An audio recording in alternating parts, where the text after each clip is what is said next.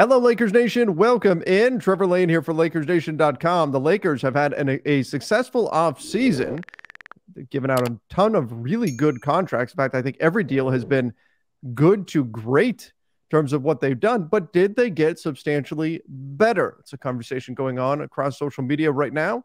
We want to give our two cents on that. Joining me is Sean Davis from LakersNation.com. Sean, how are you doing? I'm doing good, man. Thanks for having me on. And uh, it's Summer League starting with California Classic today. Summer yep. League kicks off in for the Lakers at least four days from now. Um, yeah, it, it, it's a fun time for sure. Yeah, Vegas Summer League in, in four days. California Classic starting up today, which is great. Basketball is back. Lots to be excited about. But what do you what do you think? You know, in general, analysts around the NBA have just been heaping praise upon the Lakers for what they've done this offseason. Now, Tim Bontemps of ESPN made the point that, well, yes, the Lakers made good moves in terms of if you look deal by deal, you look and you go, oh, Gabe Vincent, three years, 33 3 million. That's a good deal. Austin Reaves, the four years, 56 million. That is a bargain. You go deal by deal, you say these are, these are good moves. But did they get substantially better on the floor? Like have their have they increased their chances to win a championship. Bontemps argued no. A lot of Lakers fans obviously disagreed. I think it's at least a fair question to ask. So, do you think the Lakers got significantly better and why? I'm going to say yes. And I'm saying yes, like, because I'm also answering the question, like, do I think the Lakers took a step forward as of right now, increasing their odds in winning a championship next season? The answer is yes. Um, like, and we'll show this in a second, but you now have I mean, for the simple fact that you have nine playable dudes at worst now.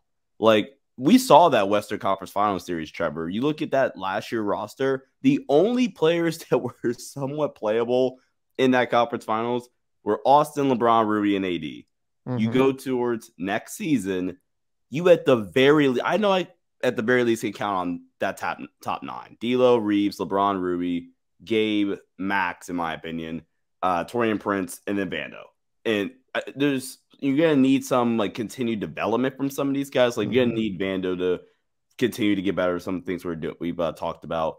Uh, we're gonna need Max to keep taking that next step. I'm excited to watch Max uh, later on today. Um, and into summer league, like you're gonna need positive steps to be taken. But like if you look just at rely, let's say like Max uh, Christie and Vando are the exact same players as last season, you still mm-hmm. have a way more reliable roster than the roster you had last season. Like, at, okay, at best, you trusted six of those dudes, like from last year's mm-hmm. team in the playoff series. So it's like, and we're not even talking about, like I said, Max, uh, Vando keep progressing. I will agree with the massive and glaring criticism that I think the Lakers are still going to address with the 14th roster spot being they need another big. Yeah. Um, if it's Bismack Biyombo, I feel really, really good, uh, or as good as you can feel at least. But like, I think when we evaluate this Lakers offseason, I think you might have tweeted this out. When you evaluate this Lakers offseason, you have to put on the lenses that there wasn't nothing, there wasn't much you could do because when Brook Lopez and Naz Reid got the market, you were kind of screwed anyway. So, from that perspective, given what the Lakers had to work with, they had it. That's why I, I am so high on this offseason because, okay, cool. Yes, it sucks. You look at this and you say, we need a big really bad. But considering they had the 17th pick in the draft, because we talk offseason, I include that 17th pick, 40th pick, you wind you lose Beasley, Bamba, and Shaq Harrison, you use that $28.5 million in salary, and you replaced three dudes that were not touching the rotation with two dudes that are going to be big pieces of your rotation. So, in my opinion, yes, the Lakers got better. Lakers increased their odds of potentially winning a championship next season. Obviously, they need to get another center, but yes, they as of right now, they have increased their odds uh, winning NBA championship next season. Yeah, that, that's key to note, right? This this roster that we see on paper here is not done. Anthony Davis, Jaxson Hayes, they are going to be joined by another player. There'll be another big coming in at some point. It could be today, it could be tomorrow, it could be a week, it could be a month from now. We don't know. But at some point, they're going to bring in another big um, to fill up that 14th roster spot. So that will round this out a little bit more. I think we're looking at a couple of things in terms of arguing why the Lakers have gotten significantly better. Now, you mentioned D'Angelo Russell.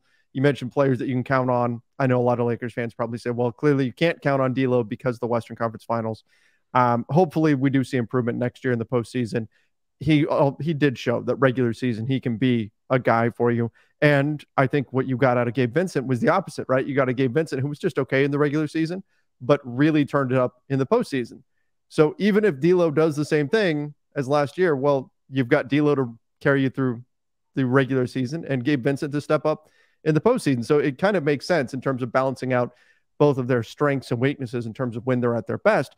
But when I look at this at this roster, beyond just hey, we we added some nice players on some nice contracts. Again, I like the value of all the deals that they got, but I also think that you've provided enough of your core coming back from last season so that you can bank a little bit on just organic growth, on just their chemistry being a bit better from having now played through the playoffs together. They'll be able to hit the ground running to a much higher degree than any Lakers team that we've seen over the past few seasons.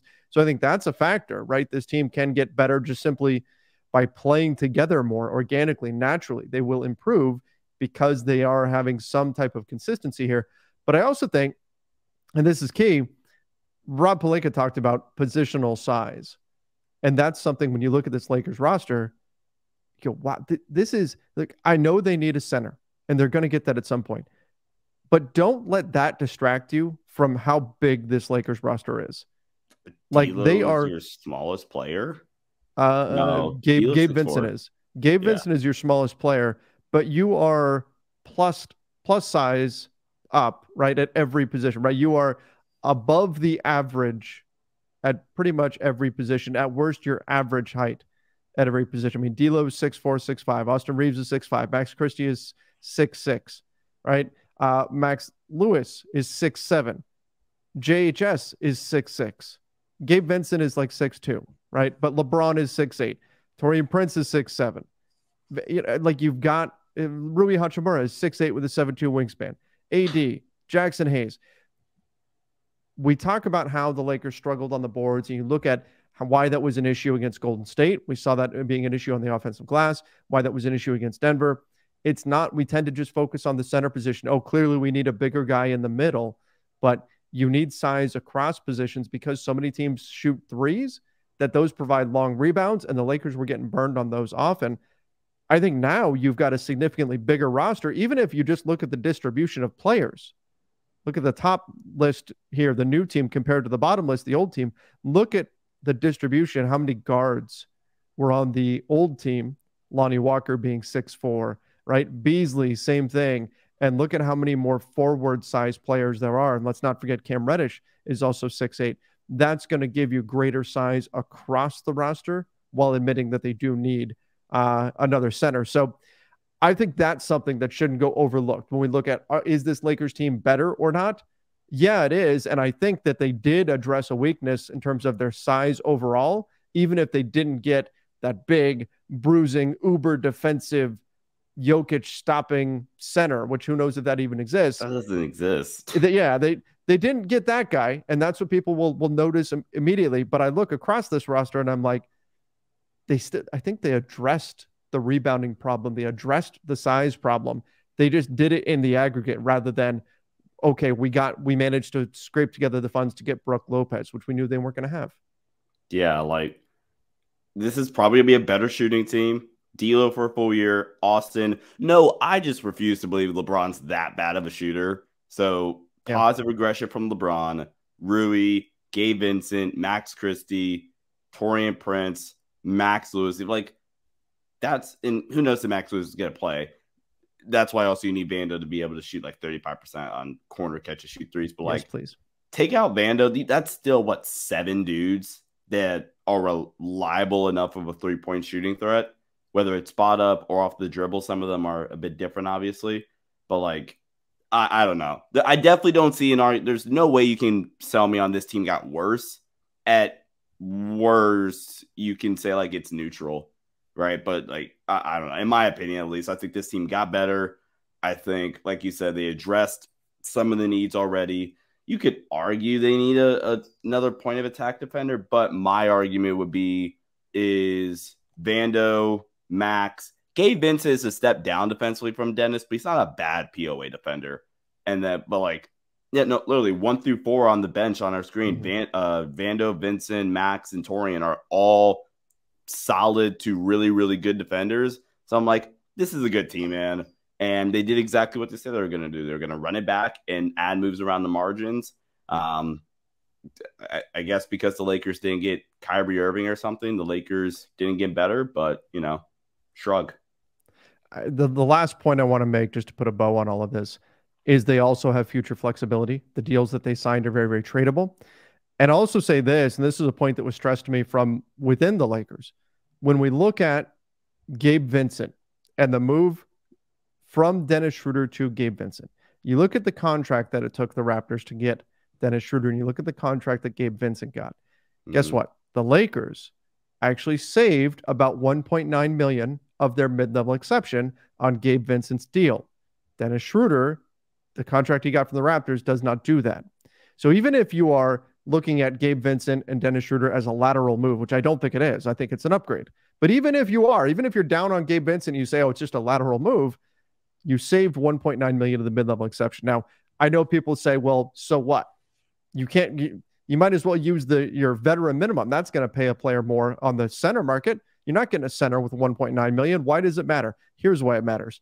Because when the buyout market comes in, the Lakers will still have that 1.9 million when everybody else has prorated veteran minimums, which means they could give a fraction of the veteran minimum, the portion of the season that's left. That's what they can offer on the buyout market. The Lakers will be able to come along and say, "Hey, you want almost 2 million bucks or you can take much much less to go play for somebody else." The Lakers will have now a financial advantage on the buyout market, which again, maybe it doesn't matter. Maybe the buyout market is terrible this year. We don't know. But if and when that does develop, and there's a guy out there that the Lakers think they could use for the postseason, the Lakers will have a financial advantage over most teams because of the way they structured Gabe Vincent's deal in a way that Dennis Schroeder did not with the Raptors. That's another piece to this. Again, this roster is not done, and the potential is there for them to add on the buyout market, and they increase the likelihood that they'll get the player that they want by structuring Gabe Vincent's contract the way that they did. So I think that's another thing that we have to factor in here. This is not done, and the buyout market could wind up adding the final piece to this puzzle. Yeah. I can't wait for Lakers basketball. I'm just going to yep. end it there. Absolutely. Let's go. But Lakers Nation, give us your thoughts in the comments down below. Did the Lakers get significantly better this summer? Why or why not? Let us know in the comments section. Always great to get to chat with everybody down in the comments about what they think uh, this team has done. Get your opinion, your takes, fire them off in the comments section. And again, if you haven't done so already, make sure you subscribe right here to the Lakers Nation YouTube channel. Till next time, everybody. See ya and stay safe.